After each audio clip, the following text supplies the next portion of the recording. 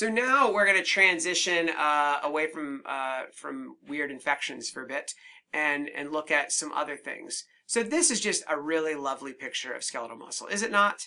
It's so cool because you can see the the Z lines and the striations. You can see, I think, artifactually the tissue kind of pulled apart a little here and like emphasized the lines uh, and the uh, structure of the the contractile filaments in the muscle. And you can also see, for some strange reason, the uh, the uh, peripheral nuclei of the skeletal muscle fiber got lined up in this funny zigzag pattern. I'm not exactly sure why. I think it's just a funny artifactual cut, but I thought it was really cool. I'm I'm easily amused and interested in interesting patterns under the microscope. I think that's what happens if you do pathology for too long. You start you get pareidolia where you see, you know, people see shapes in the cloud. I see shapes in the in the microscope slides. If it's happened to you, it might be too late to turn back from a career in pathology, but that's okay. I'm fine with it. So, uh, but I also just am, am, mesmerized by the patterns that we see under the microscope. So in any case, I wanted to share that with you because I thought it was fun. Uh, and there's a closer view. So cool uh, that in the body where everything is so, you know, curved and rounded and not geometric, we get skeletal muscle where you get like perfectly straight lines. Um, and that's not, you know, a common thing to see in, a, in an organic structure, you know. So there's a reason here, not just to show you the, the pretty stuff. There's a practical thing that I'm showing here. So this is also skeletal muscle. And so, you know, we don't see the striations here. Now, if you're if you're a beginner watching this, or or if there's anyone in your audience who's who's maybe a new first year, how do we know it's skeletal muscle? Because you can't just say, you know, what tissue is this? It's muscle. You got to say what kind of muscle, right? Skeletal, smooth, cardiac those muscle types are in different parts of the body and and can tell us a lot about where exactly the biopsy or specimen is coming from, especially if we're not given great information um, from you know from the person submitting the the uh, sample. So that's always a good thing. Knowing your basic histology is really important. And so seeing striations tells us great skeletal muscle. But remember, cardiac muscle also has striations. But here I can't I can't see good striations from this power. Um, but how do I know it's skeletal muscle? Well, that's because there's peripheral nuclei, right? The nuclei, I know this is an exception here, but the nuclei are multiple and they line up around the outside of each individual skeletal muscle fiber. Also, the color of skeletal muscle is like kind of a deeper reddish pink uh, than smooth muscle, which is like a pale pink. But I think that the shades of pink is quite nuanced and it takes some time to, to get good at that. So the, the reason I'm showing this is what are these dark cells right here? I will show you some more pictures and you can tell me what is happening here. What, what are these? Because this is a really important thing to know about. Now look closer, we can see the striations, right? Now you believe me? What are these? Atrophy. Yes, very good. Dark hyperchromatic cells. When they're multi multinucleated like this and you can see some striations, it's easy to tell, oh, this is skeletal muscle that's shrinking and atrophying. And when it atrophies, all of those many nuclei that it has in each fiber, all the nuclei along the outside, as the muscle cell, you know, consumes its own proteins and breaks itself down and shrinks down to conserve energy, the nuclei come closer and closer and closer together, and eventually they overlap completely.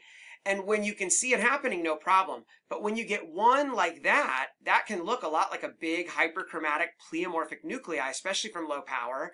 And if you see that and in the setting of a tumor, like sometimes tumors like desmoid fibromatosis, for example, infiltrates muscle, traps the muscle, makes muscle atrophy, and you can see scattered pleomorphism there and then think it's a sarcoma or something like that. So you may say, well, this is easy, but I've definitely seen times where it can be quite tricky.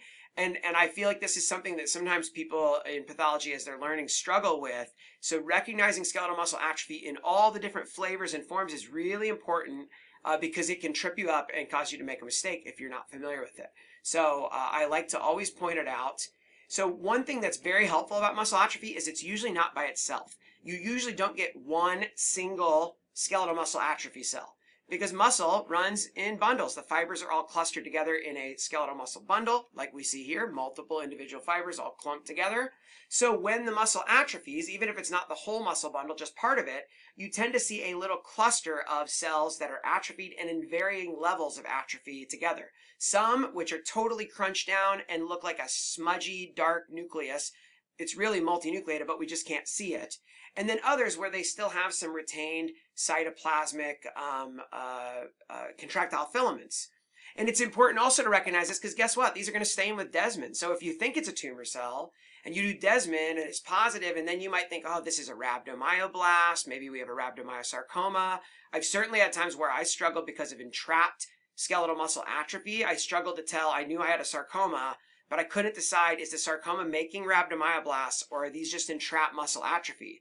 Because sometimes I've seen rhabdomyosarcomas that have entrapped muscle and had muscle atrophy. So the question became, is this really muscle atrophy only, or is there also rhabdomyoblastic differentiation? We have both. And, and uh, it's been tricky. I've definitely had times where I've struggled with that uh, previously. So recognizing it when it's real obvious is the first step, and then you can learn the more nuanced way of, of dealing with it when you're in the tumor setting. So I love the, this, how they're clustered together. And usually if you find it and you have a big enough sample, you can kind of track back from the cells where you're like, oh, I think it could be muscle atrophy. I'm not sure. And you look around and you'll start finding other cells near it that are more obvious. And then you'll find some striations. And then you'll say, oh, look, I can see it's connected up to this other muscle group. Okay, it's all muscle atrophy. Now, the, the Flip side is that sometimes atrophic muscle looks different than what I just showed you. And it looks, instead of, uh, instead of the cells getting really small and dark and crunched on top of each other, uh, the, the muscle cells do get smaller and the nuclei come together, but the nuclei, instead of getting small and dark, they get big and have open chromatin and big nucleoli. So you can tell here there's some scar, I can't remember the, the setting here, some fibrosis, here's a not normal muscle, but no, more normal muscle, and that you can see it, at the interface here between the, the scar and the muscle, there's entrapped, damaged, unhappy muscle fibers. I don't know if they're really unhappy, but I like to think of cells as like little people and to ascribe emotions uh, and feelings to them. Again, that happens if you do pathology for too long, but it's okay. I'm fine with it. So I don't know exactly why this happens, but my theory is that these are muscle cells that haven't like given up the fight and they're activating and turning on gene expression to try to either like rebuild themselves or regenerate in some capacity and that that's why their nuclei expand and they get big nucleoli. But if you look around enough, you will eventually, especially in the setting where there's a lot, I, I feel like I see this more in like robust granulation tissue, uh, tumor bed, re-excision. They had a surgery two weeks ago and now they're going back and taking more. I feel like I see this type of muscle change more in that really acute revved up setting of reactive muscle change. I don't know if that's true, but I just, uh, it seems like that's that's the case. I've never sat down and actually counted the cases, but but I think it's important because these nuclei look kind of atypical, right? They don't look like normal skeletal muscle nuclei. They look big. They have uh, they're much larger than normal skeletal muscle nuclei. They have central kind of prominent nucleoli. The muscle cell gets this kind of amphophilic color to it. Again, if you look around enough, you can usually find some striations. You can also see that the weird cells track back and they become more and more and more obviously you know, here you might say, I don't know what that is. And then you're like, well, that looks like, mu- oh, it's definitely muscle. See what I'm saying? As you track back, you can eventually find like the, the obvious muscle, which makes it more easy to answer the question. So just be aware that this is a kind of a different flavor of skeletal muscle atrophy. And it's one that I think is important because it looks kind of, you know, kind of funky and atypical. And if you just got one of these, especially like on a cytology specimen, you know, you might be tempted to think that this was an atypical or malignant cell, a multinucleated tumor cell, something like that. So, you know, I'm a, I'm a big fan of learning all the weird reactive stuff because uh, it's it doesn't seem very exciting. It's not something that you know people usually write chapters in books about, uh, but it's something that's really important in practice because if you're not familiar with it, it can uh, definitely trick you, and you can make a big mistake. And uh, the time to start learning reactive changes whether it's granulation tissue or weird reactive epidermal hyperplasia mimicking squamous cell carcinoma or skeletal muscle atrophy, whatever it is. The time to start learning reactive changes is not when you're reading a frozen section and you're trying to decide is this tumor at the margin or not, and they're going to go and take off part of somebody's nose or whatever. That's not the time to start studying. The time to start studying is when you have a boring excision specimen that you know is not a certain type of cancer, or you know it's reactive because it's an abscess, you know for sure clinically there's no tumor there.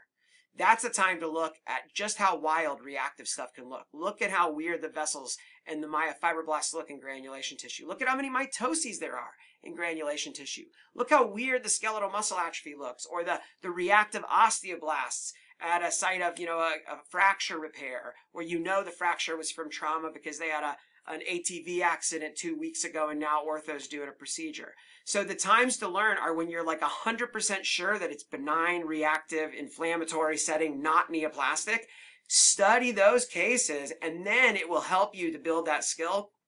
It's something even 12 years into practice, even as a soft tissue pathologist, I still, and, and a dermatopathologist, I still struggle sometimes with reactive changes in the skin and in the soft tissue. Even though I, I have a particular interest in this, I teach about it, I look at it, I still struggle with it. So you can never see enough reactive stuff. So there's there's my my lecture for you today. It doesn't seem exciting. It may not be something that I don't know if it'll get asked on your, you know, board exam. I have no idea what gets what will get asked on your board exam. But the point is is it may not seem something that's high yield, but in real life practice, very high yield. And the more comfortable you are with it, uh, the better you are uh, going to be enabled to to avoid pitfalls. All right? And then that's back to the start. Uh, oh, and then this is just a little, a bit, a little, little bit of path art for you here. Look at that. Is that not gorgeous? This makes me think of like soap bubbles or something. The way it's like green and then pink, like how the, like a, like a shadow or something. I don't know. Again, maybe I've been doing this too long. This is skeletal muscle and it's not as dramatic, but you can see there's atrophy here because look at the fibers. They're smaller, right? These fibers are big and look at how tiny. And again, the, the atrophy tends to cluster together. There's a little atrophy there. I can't remember the this I think was next to it, maybe an abscess or something, and we did a this is a PAS stain with a green counter stain, which is quite lovely, isn't it? It's very pretty. Um, so there's no fungus here. It was it was done for something else on a different part of the slide on a big excision, and I was just like, whoa! I have never um, stained muscle with PAS. That's a green counter stain, and it just happened to have a really cool appearance. So I snapped uh, some photos, and I just had to share them with you because if you don't like that, I can't make you happy. Come on. Look at that. Isn't that amazing? You can hang that on your wall. All right. Any questions? Oh, wait, there's one more picture maybe? Oh, yeah. That's kind of nice too. Because here we get, uh, instead of the cross-section view that we had, now we get a longitudinal section and you can see the striations and you can see how like irregular the outline of the muscle is. It's like just so crunched up and very, very unhappy, I think. Pretty cool, huh? All right. I know you probably never had someone talk to you for like 20 minutes about skeletal muscle atrophy before, but now you have. And next time when you see it, you're going to be like, maybe years from now, but you're going to be like, whoa, yes, this could totally have tripped me up. And You're going to remember this moment. And then uh, you can send me an email and say, 25 years ago, you gave us a lecture at UPenn about skeletal muscle atrophy and it'll make me feel like all of my uh, my talking was not in vain. I hope that my kids do that one day too, with all the lectures that I give to them. I have three daughters. Um, the oldest one's twelve, so uh, yeah, life is life is pretty exciting and fun and interesting. And I do lecture them about a lot of stuff, and they're like, "Ugh, Dad." But I like to think that one day they'll be like, "Well, well, Dad, remember how you said that saving money is a good thing? I've been saving and investing, so that's that's my hope." All right.